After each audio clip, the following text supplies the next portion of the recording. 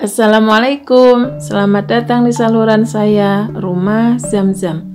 Menyajikan masakan sederhana dengan bahan seadanya dan dengan cara memasak yang sederhana juga. Masakan saya tentu saja disesuaikan dengan selera saya. Jadi, jika ada pemirsa yang tidak sama dengan saya, baik resep, cara masak, maupun cara penyajiannya, ya tidak apa-apa. Tapi, jika ada yang suka dengan cara saya, pemirsa boleh mencobanya di rumah. Tak lupa mohon dukungannya untuk pengembangan saluran saya, yaitu dengan cara tekan tombol subscribe dan loncengnya untuk mendapatkan notifikasi video terbaru saya. Terima kasih.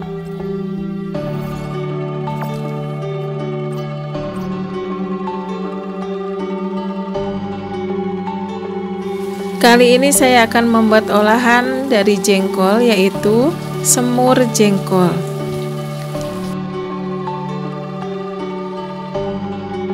Bahan-bahan yang diperlukan di antaranya setengah kilogram jengkol yang sudah direbus hingga matang, kemudian santan kelapa, kecap manis, cabai merah, cabai rawit, tomat, jahe, kemiri, bawang merah, bawang putih, lengkuas. Saya gunakan lengkuas yang sudah diparut. Kemudian gula merah, daun salam, daun jeruk, dan serai. Langkah pertama, pipihkan jengkol dengan ulekan seperti ini. Sembari saya menyelesaikan pekerjaan memipihkan jengkol, saya akan informasikan beberapa khasiat dari jengkol. Jengkol atau Pitesolabium jiringa memiliki banyak sekali khasiat di antaranya yaitu sumber protein, mencegah penyakit mah, menangkal radikal bebas, mencegah anemia, pembentukan jaringan tubuh, mencegah tulang rapuh dan memperkuat tulang dan gigi, mengatasi jantung koroner, merampingkan perut, mencegah diabetes, kemudian mengatasi penyempitan pembuluh darah, membantu pertumbuhan tulang dan gigi pada janin, menyetabilkan organ vital yang ada di dalam tubuh, mengatasi sembelit pada ibu hamil, mengontrol kadar gula darah, dan terakhir mencegah risiko kecacatan pada bayi. Namun, di samping khasiat yang begitu banyak yang terdapat pada jengkol, ternyata jengkol juga bisa mengakibatkan keracunan. Alasannya, Asam jengkolat yang memiliki sifat sukar larut dalam air akan mengkristal dalam konsentrasi asam lambung yang tinggi. Kristal ini dapat menyebabkan penyumbatan pada saluran kencing dan juga dalam ginjal.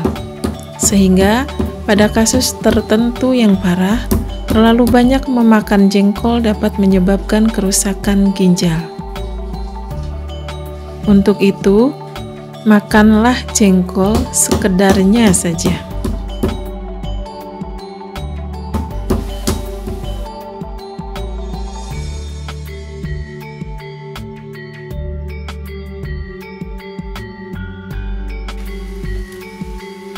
Selanjutnya, haluskan bumbu.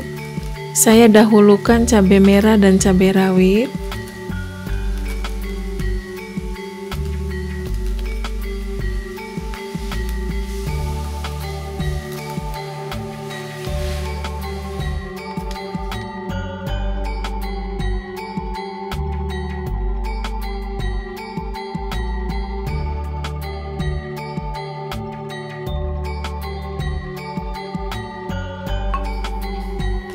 Kemudian lanjut tumbuk juga bawang merah, bawang putih, kemiri hingga halus.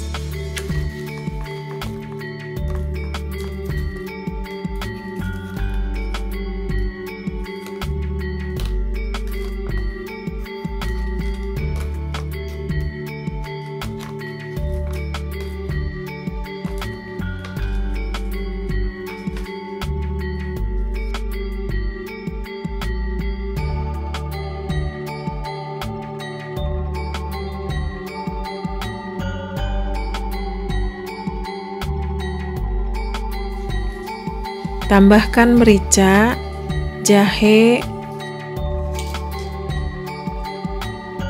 ketumbar. Saya gunakan ketumbar bubuk dan lengkuas. Tumbuk lagi sampai halus.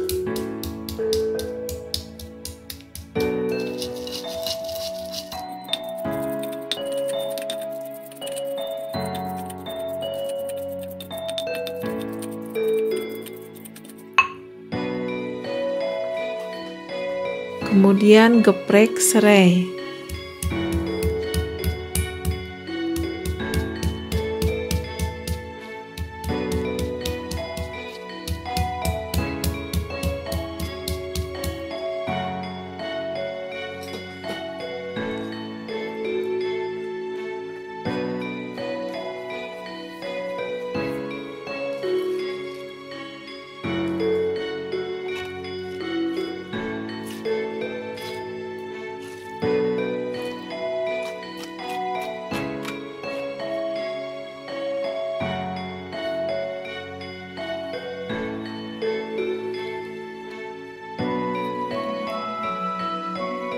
Berikutnya, siapkan wajan, nyalakan api,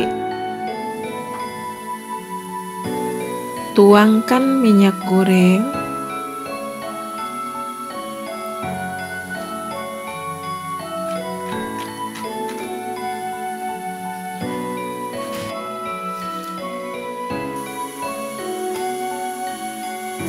kemudian tumis bumbu halus hingga harum.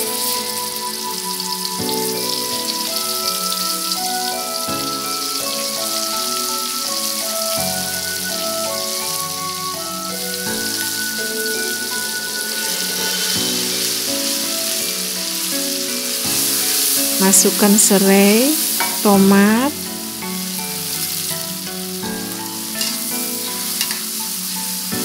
masukkan daun salam, daun jeruk.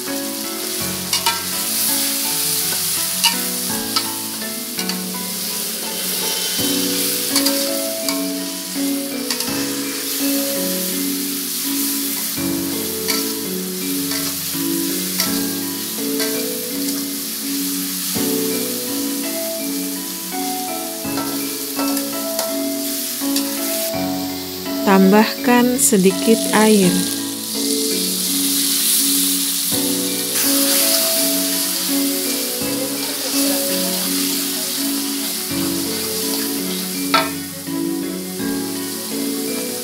Masukkan jengkol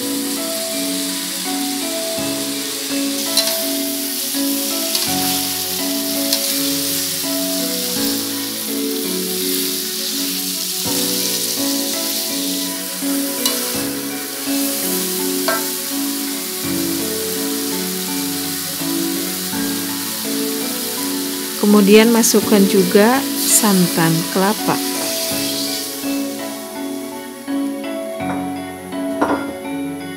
Aduk-aduk.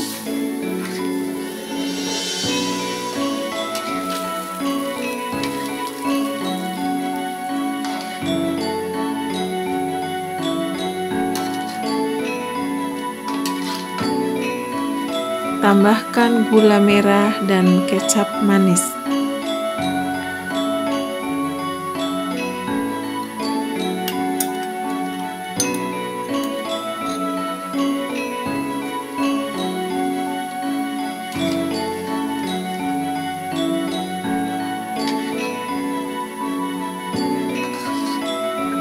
Tambahkan pula kaldu bubuk.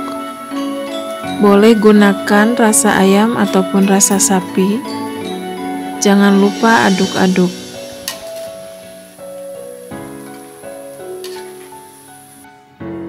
Masak semur jengkol hingga kuah menyusut.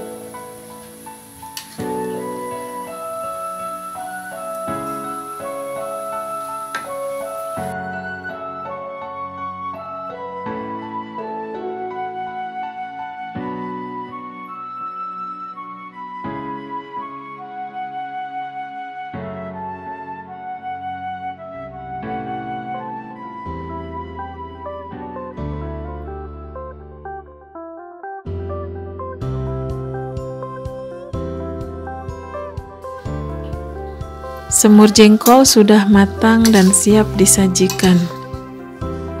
Angkat, pindahkan ke piring saji.